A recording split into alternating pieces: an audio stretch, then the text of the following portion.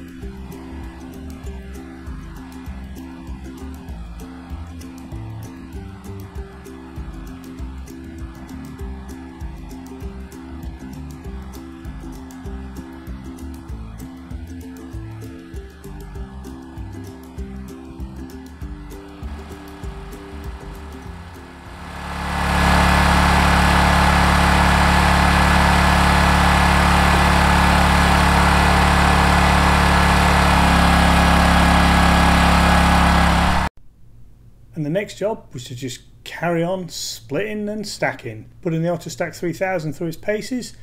And as you can see here, we soon uh, managed to get the log shed full to the top, and uh, that was uh, that was the end of this little project. But as usual, there's always more to do. So tune in next time on the Rural Project.